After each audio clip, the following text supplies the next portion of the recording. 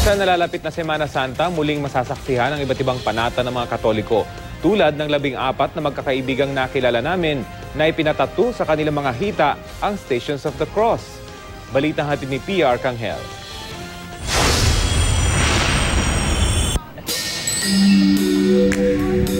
Tuwing Semana Santa, panata na ng mga debotong katoliko na sariway ng daan sa Kalbaryo ni Yesu Cristo o ang 14 Stations of the Cross.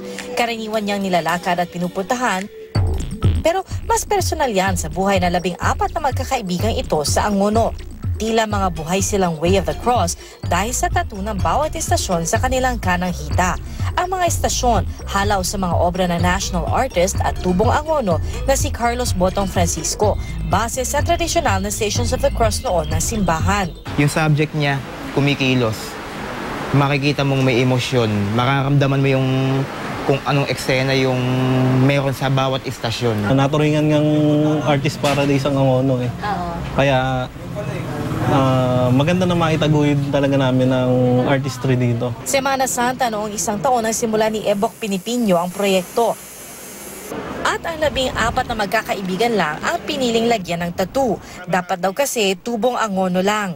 At ang istasyon may kinalaman at kahulugan sa kani-kanilang buhay. Si Raylin na isang ina, malapit daw sa ikawalong stasyon ang pagharap ng sugatang si Jesus sa kababaihan ng Jerusalem. Sa akin naman, syempre mga ina ng mga Jerusalem, syempre as a mother, yun din yung inaano ko. So, pasok din siya. Nakatatak naman sa balati na Jason at Enad ang mga imahe ng pagpasa ni Jesus ng krus. Pagka yung nakakaisip ka ng medyo negatibo, pagka nakita mo yun, mawawala agad. Sa tattoo kasi, ah, yun yung third, yun yung pag, unang pagkadapa.